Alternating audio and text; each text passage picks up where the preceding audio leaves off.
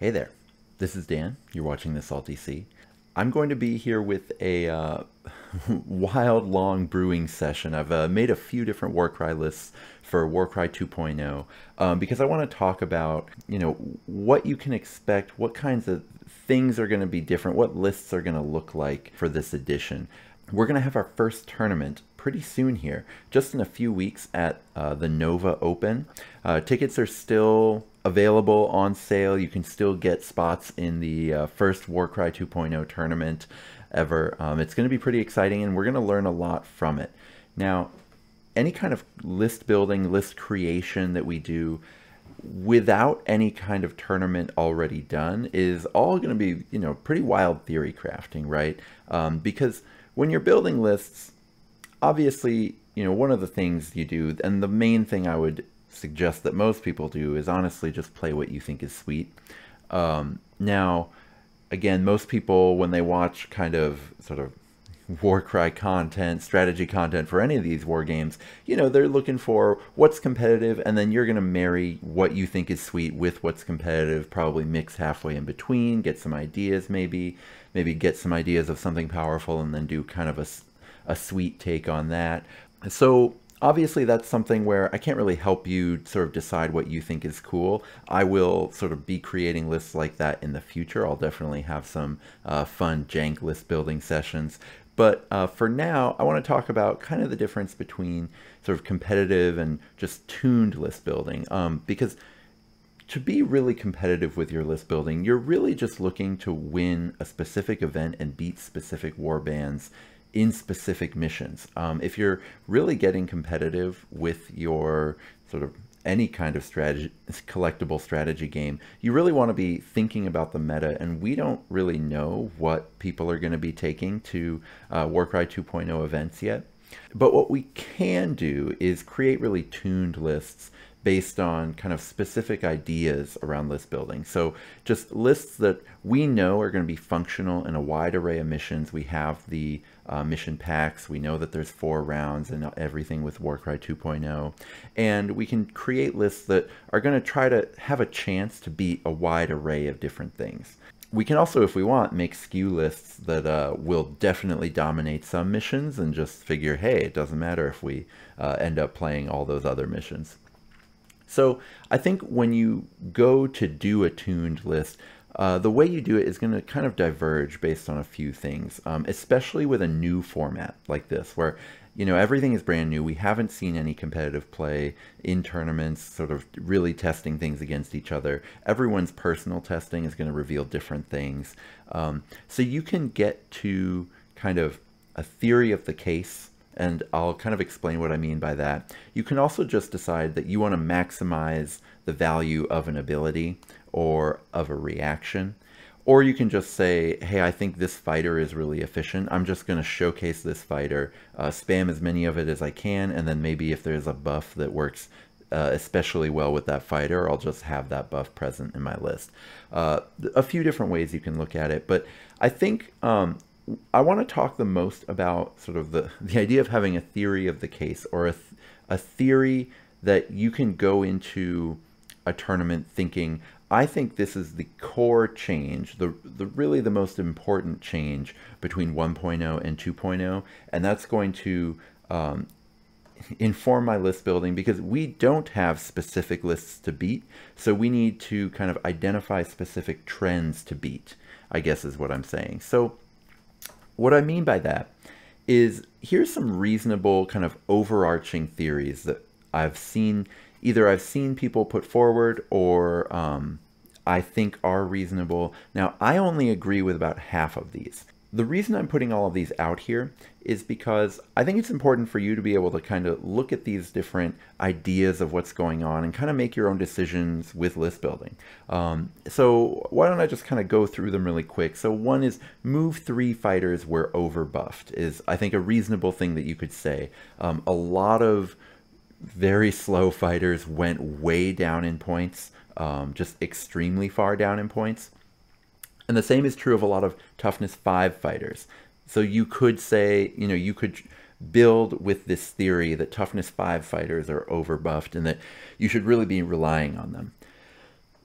the other direction, you could say, listen, movement has always been king in this game. It always will be. I've taken a look at a lot of the missions. A lot of the missions require you to kind of get different places on the board. Uh, so you could say, listen, nothing's changed from uh, in 1.0 when we needed to get moving. Uh, that's going to be true here too. Another thing, you know, free activation doubles are the strongest thing in Warcry. I've heard a lot of people say that. Uh, the same I've heard, but with nets. Nets are just anything that stops an, oppo an opposing model from activating. Um, you could also look at the kind of three new list building mechanics and the ally mechanic, the thrall mechanic, and the monster mechanic. And you could say with any of those three, I think, again, reasonably, that they are completely exploitable and that um, building a list looking to kind of use allies in a bad faith way or use monsters in a bad faith way um, could end up being the strongest thing. You could also look a lot of, I've been yelling about the mid-sized trap for, you know, over a year now. Um, and I think GW, if they weren't listening to me, they were kind of figuring it out in their own testing. A lot of the points went down on mid-sized models. Uh, if you wanted to, you could look at that and conclude that GW's either they've solved the mid-sized trap or they're trying to solve it. Um, and you could build a list completely just based on that and going all for kind of mid-sized models. Uh, you could also just conclude that, listen, right now we're early in a format. People don't really know what they're doing. Intact 1.0 lists are just going to smash all the untuned experiments that people are running. Um, you could also say, listen, we've talked about reactions if you play your first couple games and reactions seem to be more impactful than you thought, then you could conclude pretty reasonably that um, reactions equal horde meta, that you just want all the cheap fighters you want out there. Uh, oddly enough, you could also just conclude the opposite, right? Four rounds uh, essentially means chaff is dead, right? Uh, essentially, the theory behind that is uh, a lot of people, you know, you find uh, ever since the Tome of Champions came out and moved everything to four rounds, uh, you often find that, you know, cheap models that don't have a way to keep themselves alive, they often are dead by the time the end of round three comes around. You know, in Warcry 1.0, that didn't matter because they had scored so many points in rounds one, two, and the beginning of three that it didn't matter if they were all dead at the end of the game. Uh, but now with a whole fourth round, it matters a whole lot more. You could say that that means the chaff is dead. And it's hilarious to me because uh, there's pretty reasonable ways to argue for kind of both sides of something that are completely completely incompatible. Um, the other one that I think is interesting is you could argue the reaction delta is too large. Now, this isn't necessarily saying that, um, you know, reactions equal horde meta or anything like that. It just means the difference, and I've heard a lot of people sort of comment this on um, my videos, sort of talking about what's changed and going over all the reactions of different factions a lot of people sort of, uh, and whether this is knee jerk or not, a lot of people have said that the difference between the really good reactions and the really bad ones is just like wildly extreme. That's what I mean by the delta. And um, if you want to try to kind of exploit that, I think that you know, if you think that that's going to be the most important thing going on in the edition, then I think that that's a reasonable thing, is to just go with a faction that has one of the better reactions. Um, so I kind of took these principles, some of the ones I agree with, some of the ones I didn't, and I wanted to build lists kind of uh, showing examples of what it would be like to try to kind of maximize, say, two or three of these at the same time to kind of create some some ideas that can be sort of really good jump off points based on you know what you think is going to be important going forward in these editions. So these first two, uh, let's go with this Slaanesh one. So the first one being Toughness 5 fighters were overbuffed. I'm going to say GW solved the mid-size trap and all these free action activation doubles, these are the things that are going to, going to define the game. They're the best thing you can do because, you know, just the rate that you get off of a double is so high. So this would be a list where you'd have a Slaangor Slaghorn and two Slaangor Fiend Bloods. They get that free activation doubles double. They're pretty quick.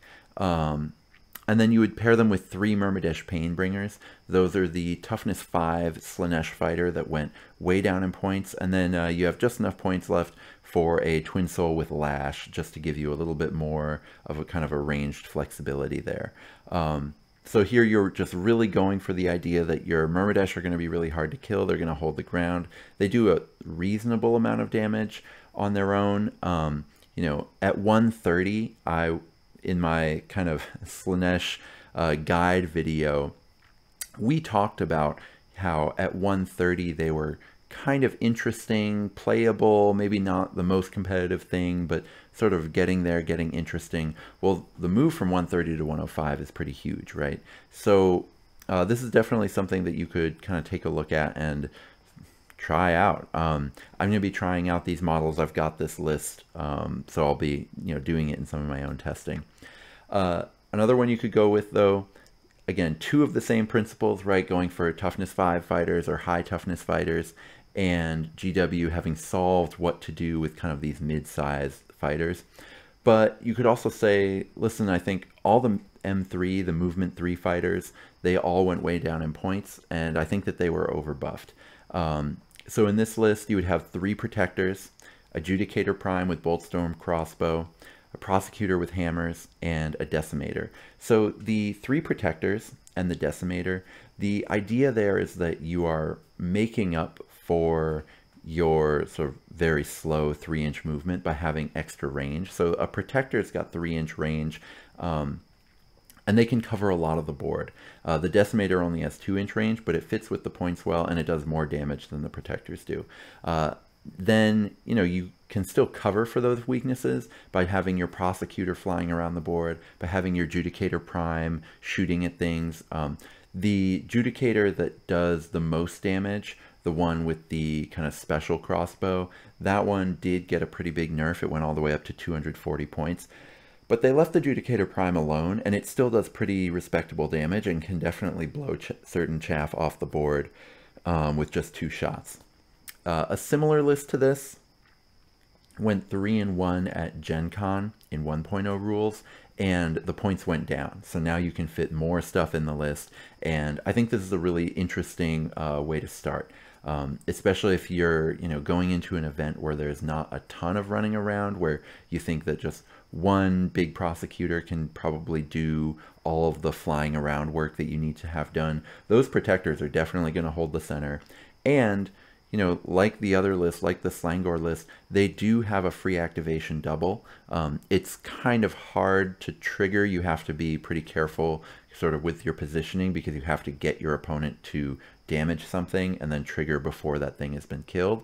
Uh, that can sometimes be tough against a savvy opponent because uh, they're going to have activation advantage on you, but you know, still something you can do. And man, the hitting power of these protectors, uh, point for point, I don't know if there's anything in the game that you know can can take one out. They really have to be um, outmaneuvered, and with that three-inch range, outmaneuvering them is going to be really difficult or uh, take a lot of skill to do, and maybe not every list is going to be able to do it at all.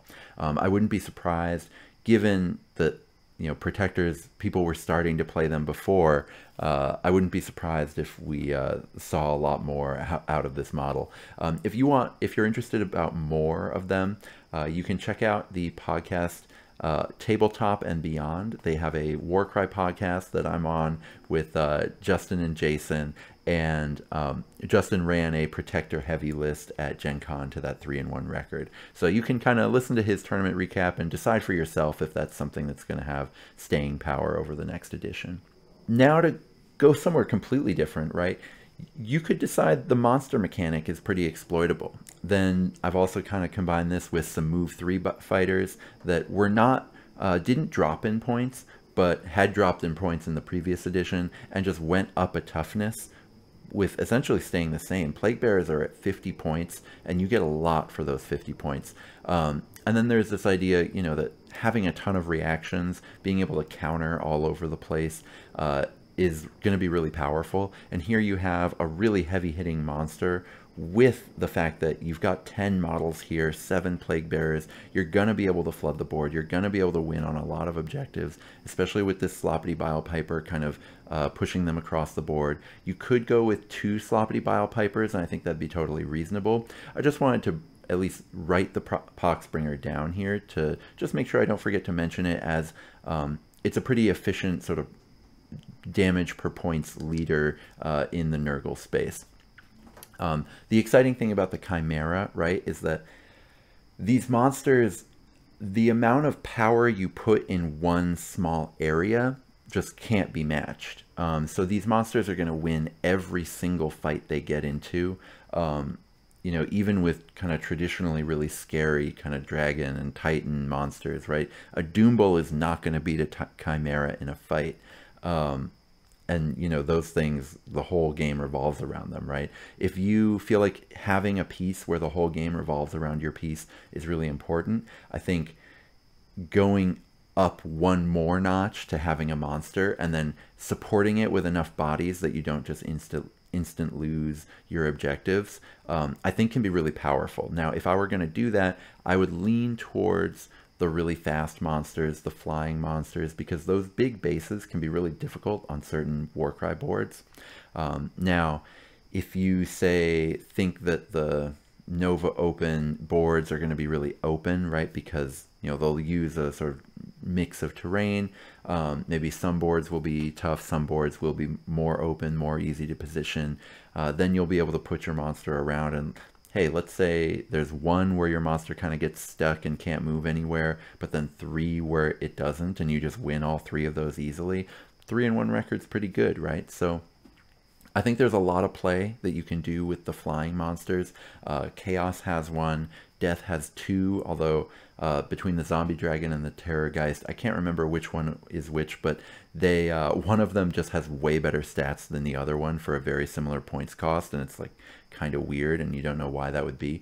But um, still, the the better Death one and the Chimera, I think there's a lot of play there, a lot of things you can kind of experiment with, and I'm excited to see if anybody tries it.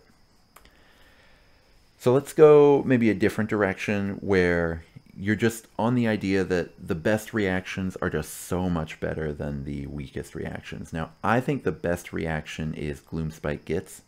I do think that they paid for it in terms of the stats per point of a lot of their cheaper models. Um, but their expensive models are still pretty good, and they have access to incredible abilities, and they're really fast.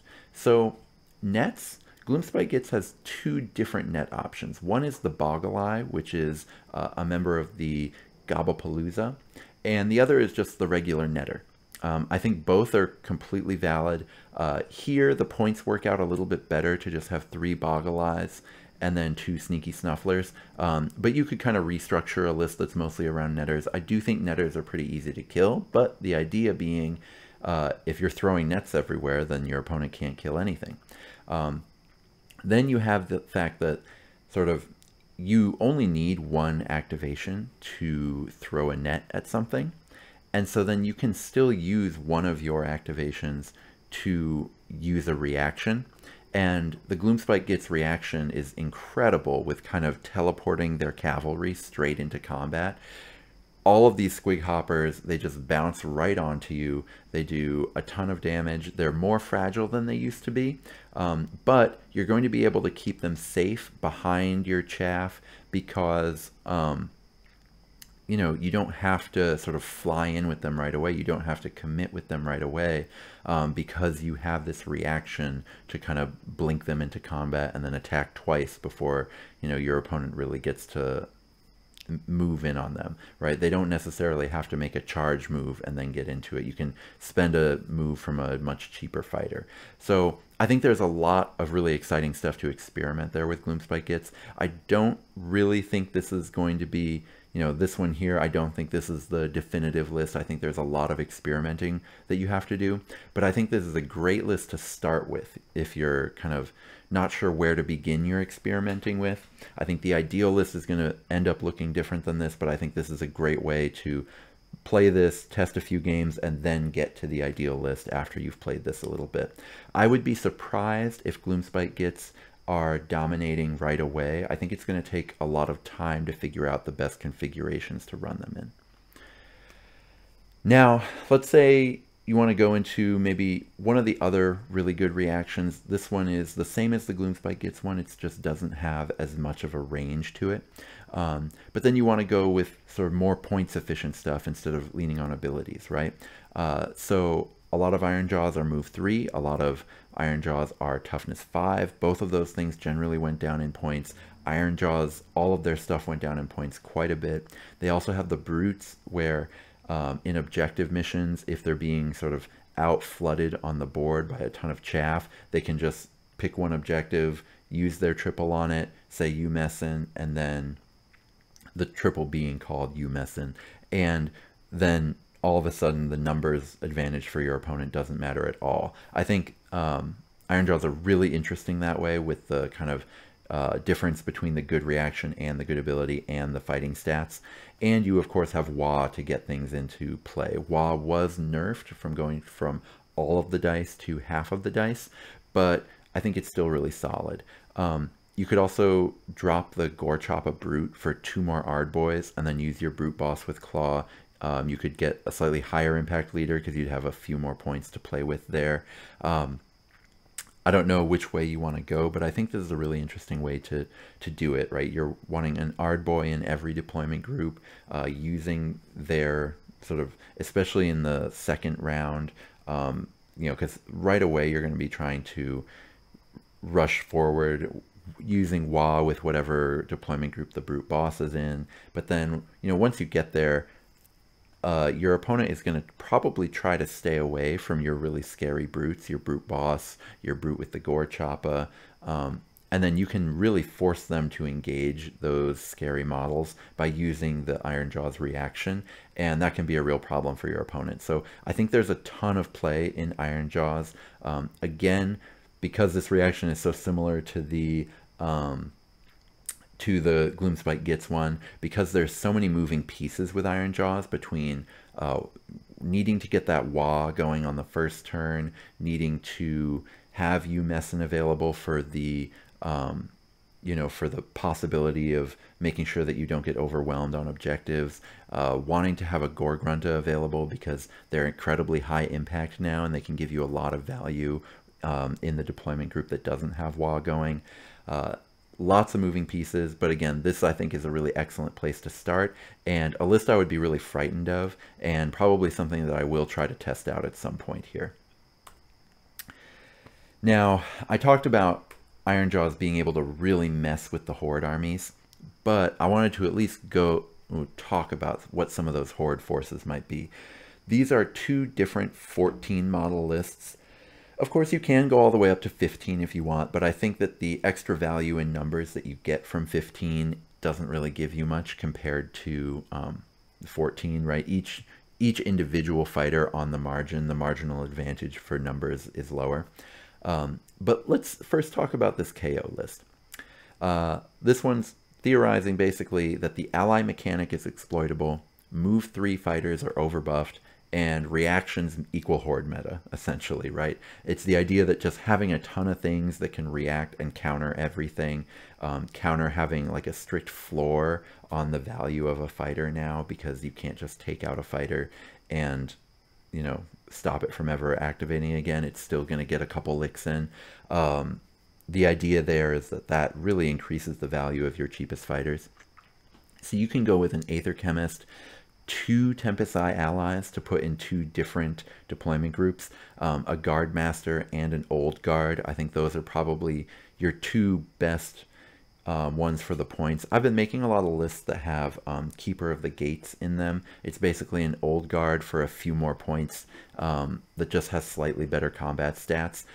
I think the old guard is much better, but a lot of the time I just have some extra points in the list and end up with the keeper of the gate. Um, but the guard master is another really good option to have a ranged ranged sort of option in your list. I think having one of each, if you really like order and you really like playing around with order, I think it's worth it probably to have one of each of these.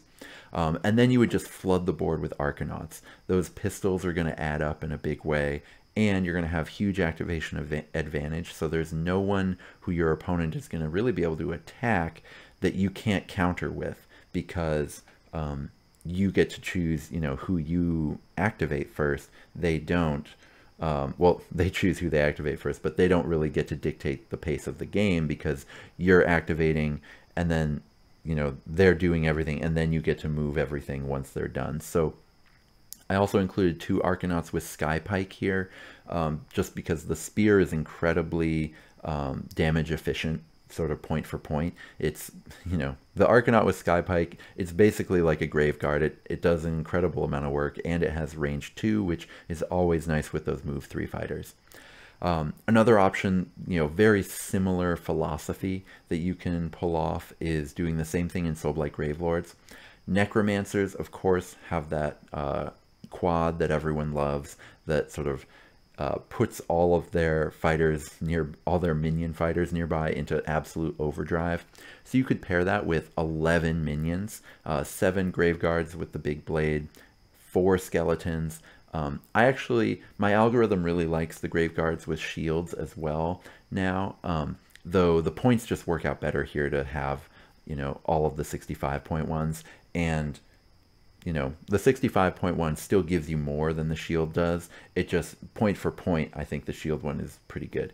Uh, but what you would do here is you would have that Necromancer, but you'd have two Flesh Eater Courts allies. Uh, they can kind of, at least the Cryptghast Courtier can kind of have a real impact on the board on it in its own right, but really what they're there for is that to make sure that one of your deployment groups is going to be in the action right away. The Flesh Eater Court's ability, you know, really boosts movement. It's one of the last ones, just that and Tempest Eye, that do the full dice movement. And that's really powerful. So you'll be able to get your whole horde into position right away. Skeletons and Graveguard, point for point, they give you a lot for what you're paying for, probably because they got that move 3 buff. Um, and so then if you can sort of get them into position in round one and then somehow roll a quad in rounds two or three while you still have a lot of them on the board, uh, your opponent's going to be in a really difficult position. So this gives you a ton of really powerful options. You know, whether you'd rather do this or the Kharadron Overlords version of this sort of full horde rush uh, is really up to you whether you're a believer more in the Necromancer or whether you're a believer in, you know, having eight inch pistol shots everywhere and just being able to reach out and touch people um, because you know that having these shooting abilities you know and things like four corners um, you know the the mission where you have to be in each quadrant of the board that can be really powerful um, the real question to me is whether these lists can win um, there's there's missions in the current packet called Reaper and Treasure Hunters that are really rough on Horde factions. Um, there's also various hunter mission cards that can be kind of rough when all you have are hordes. Um, you know, sometimes you really want like a high impact fighter or two, and that's generally going to come out of your numbers budget, essentially. Um, so there's questions about whether these lists can succeed in every mission, but if you test out those missions, if you test out Reaper, if you test out Treasure Hunters with these horde lists and you find it's working okay for you, you could be in a really powerful position trying these out.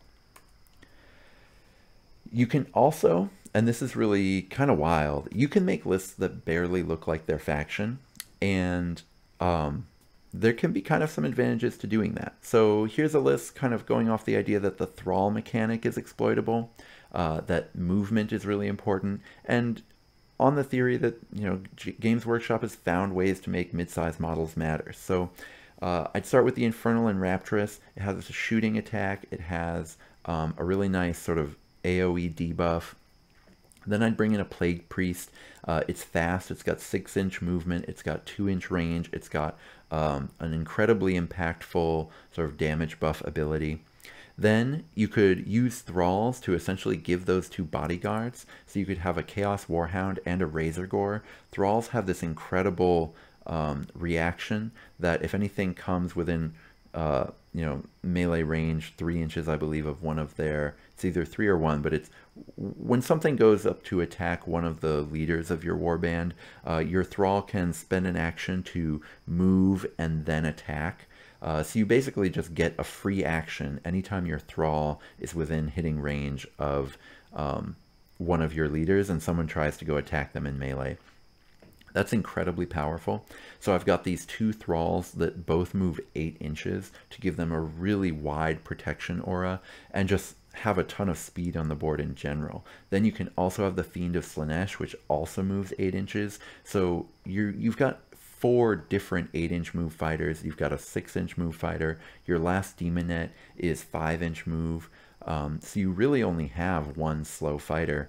And otherwise you're just really flying around the board, but using things that kind of have a respectable kind of point for point output, right? The Razorgor can really take things down. Um, the Fiends can really take stuff down. And then your Plague Priest is really going to sort of boost damage all over the map, right? So I think this is kind of a really interesting and exciting way to build a list because uh, it just doesn't look anything like lists looked in 1.0. Um, you know, this is technically a Slaanesh list, and it's got three fighters that aren't Slaanesh at all. Um, so, you know, for some people who kind of like the sort of narrative of their faction, don't like soup lists, I can see this being kind of offending to the senses. Um, but I think it's really interesting from a list building perspective. I also think it's really interesting because a lot of the 10 inch move flyers uh, took really huge nerfs and so I think it's really worth because movement is still important. It's clearly important in the um, in the mission packs. The question is, is movement on the models too expensive now to put all your chips in the basket, right? So I think it's definitely worth um, sort of experimenting with some of the slower fighters that didn't take quite as hard nerfs, but are still very fast, right? Things like Fiends running 8 inches as opposed to flying 10 inches. Things like that that are still very fast around the board, but didn't hit quite the big nerfs that, uh, that the 10 inch move flyers did. You can also, you know, port 1.0 lists directly into 2.0, right? So you can have this idea that, listen, the, the principles haven't changed. I still want to be building lists the same way I built lists in 1.0. It's just the points have changed. So I'm going to go for you know, whatever the most points efficient version of the same role is, but just do the same roles, the same everything that I did in 1.0. So really good example of that. Um, I wanted to take the third place list um, from Darcy at uh, Adepticon and kind of just make some changes, right? So um, you could play a Bloodkine, which is basically a small Doombull. It's a Bullgor boss. You could still have your cockatrice. Yes, it went up 20 points, um, but it's still flying around the board, doing all of the really incredible things it did in the previous edition. You know, the cockatrice was one of the kind of defining pieces of the game um, once people kind of finally got to do competitive play. Uh, then you could either take another Bullgor. Um, they gave some pretty big buffs to one of the bigger Bullgors that cost 195, but it got a, a whole extra attack from what it had in first edition. Or you could play two Bestigors because those went down in points, and if you put them both in the same deployment group, uh, those can essentially double as one big threat model because they're not going to get one shot off the board, so they're both going to get their licks in um, to whatever comes after them. Then you would just have five chaff fighters. Now again, the points have changed. Uh, your regular Gor with two weapons went up a little bit in points. Uh, the Ungor went down to be more in line with the Gor. So you could do, you know, test out two of your regular Gor, but then also try out three Ungor with spears. Um, so the really attractive thing about this list is that it's really similar to a 1.0 list that was very successful. Uh, the only difference is, you know, just tinkering with which fighter is in which role, uh, just based on what points have changed. Uh, I think that that can be just a really solid way to approach a new edition really often. I know, like when Magic the Gathering formats kind of rotate, a lot, a lot of the time, uh, the most successful things are just whatever the best aggressive deck was in the previous, you know, with the cards that are still left from the previous edition. Uh, a lot of the time in the first few weeks, that's the most powerful thing to be doing. Um, this would kind of be, you know, this isn't a purely aggressive list, but this would kind of be going on the same philosophy. Uh, some other ways to kind of do that, mixing with ideas from the current one, right? You could take a Soulblight Gravelords list and say, listen, I'm just going to bring in an ally to exploit the ally mechanic, but then still essentially be going with what was good in 1.0, right? It's very similar to the SBG list I showed in the kind of all horde one, except here you're going, listen, in 1.0, big flyers were just incredibly efficient, incredibly incredibly just important for succeeding on the missions. So I'm going to keep running my Vargoyle even though it went up 20 points. And I'm just getting that back with how much cheaper all my minions have gotten. Uh, then you can still have a Necromancer if you want to. Uh, you can definitely let one go. I think Necromancers were a bit of a trap in the previous edition where you could still win with them because Graveguard and Zombies were so good. But I think that they were just strictly less powerful than the Vargoyle lists. And then here you're going, listen, I used to be playing Vyrkos Bloodborne in this role, but they went up quite a bit in points. So why don't I just get my movement from an ally, right? So if you have a Crypt Ghast here for just 105 points, you have access to um, the incredible triple that kind of boosts all your movement around the Crypt Ghast. And so you're kind of putting your movement just in a different way. And so you can have your Vargoyle in one deployment group, your Crypt Ghast in one of the other two deployment groups, and then still have a very similar movement package than to what you had before in 1.0. And then, you know, you can have three Skeleton Warriors, four Graveguard with the big blade, two Graveguard with sword and shield, and that's just like a huge pack of nine just incredibly points efficient um, chaff models that are going to be just really, really powerful on any kind of objective mission. Um, Graveguard were one of the best things to be doing in 1.0. I don't think that has changed in 2.0. Um, you can also kind of try something similar though, saying, listen, you know, we have the move three stuff from Soulblight Gravelords, but Ossiarch Bone Reapers also has move 3 stuff. It was also toughness 5. It got really big buffs. Uh, you can still bring in an ally.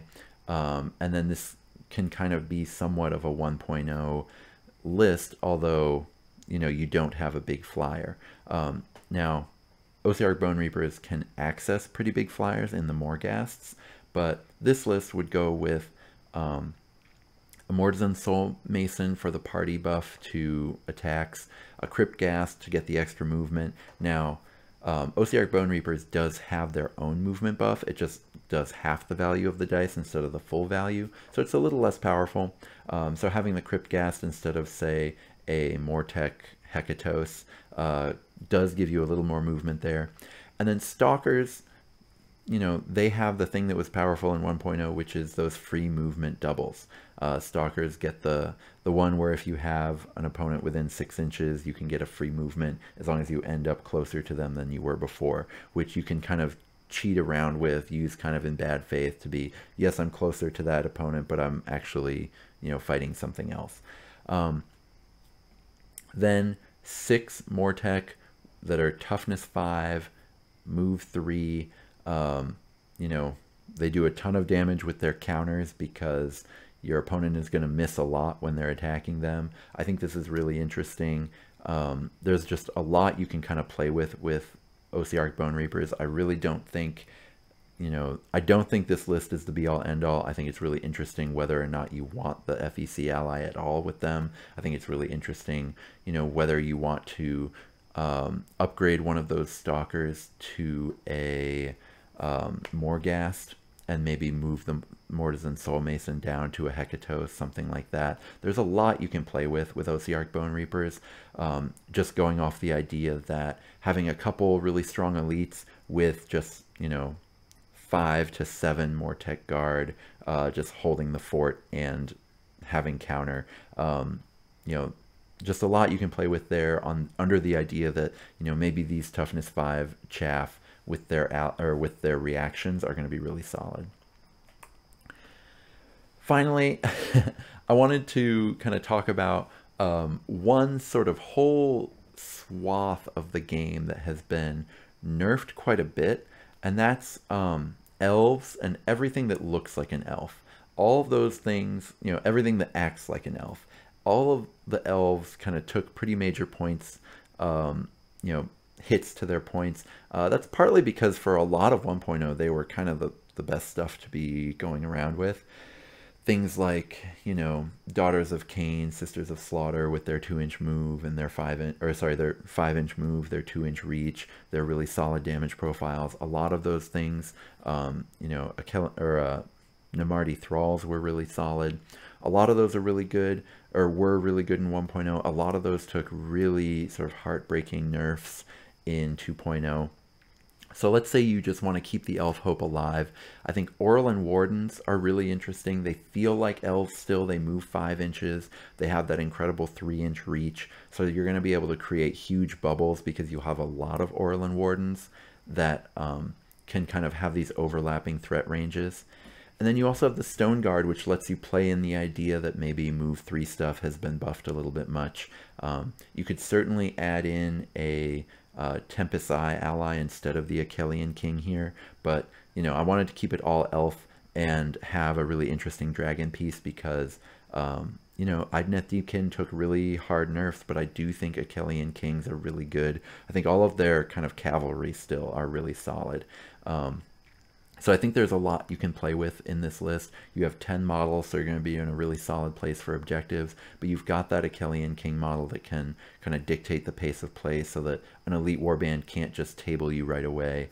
Um, also, the Stoneguard are really hard to table really quickly, so you're going to have a lot of hitting power for, you know, what you would call kind of a, a squishy elf list. Now, these five Auralan Wardens are really squishy, but that three inch move is going to help keep them alive. So I think if you are a huge lover of elves and you're kind of sad at where most of the elves are in this edition, which I think is a very reasonable reaction to have, um, this is kind of a list that you can toy around with and see if it works for you and, you know, keep your elves on the board.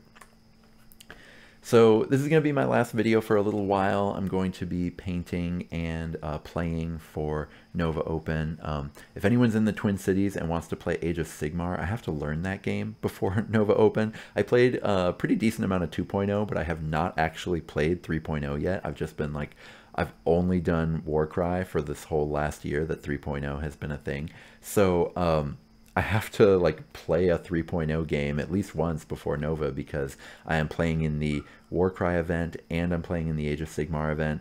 So uh, hit me up if you want to teach me 3.0 uh, in the Twin Cities sometime. But um, otherwise, I just want to talk about how thankful I am for all of my patrons. I what released six videos in two weeks um, basically chronicling all of the changes and it's really you know the community that they've created, um, both on my Discord, on you know the comments of my videos, getting to know some of them in person, having met them at events.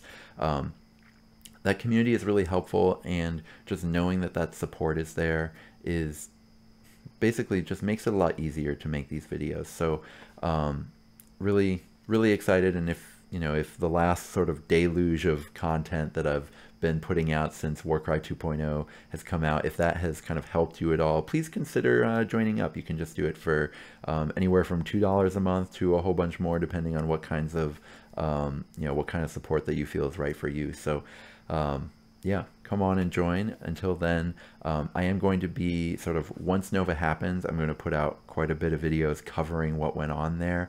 And so, um, since I'll probably be quiet for a week or so before that, uh, make sure that you subscribe and hit the bell icon so it does show up on your feed um, so that you don't miss it because whatever happens at Nova, it's going to be exciting because it's going to be the first ever tournament for 2.0. We have no idea what's going to be kind of actually winning once the rubber hits the road, and it's going to be really fun to kind of try that out and test it out. So um, until then, may all your rolls be crits.